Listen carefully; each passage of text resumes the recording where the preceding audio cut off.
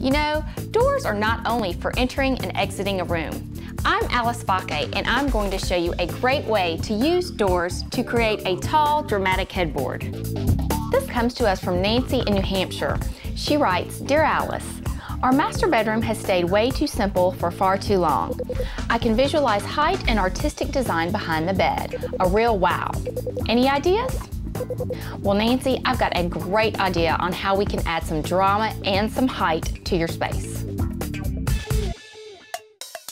For this project, we will need three hollow core doors, some paint, painting supplies, over-the-door hooks, some photos, and some ribbon. Lay your three hollow core doors out and paint each identical colors.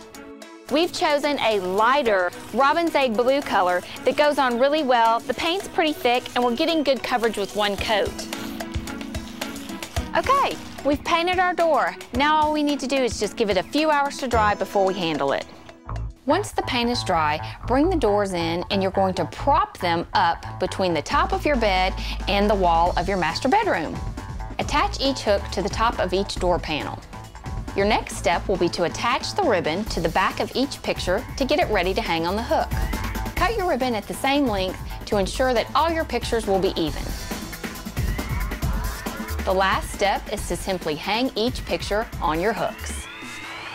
So see Nancy? Some doors, a can of paint, hooks and pictures, and we've got the drama and the beauty you were looking for.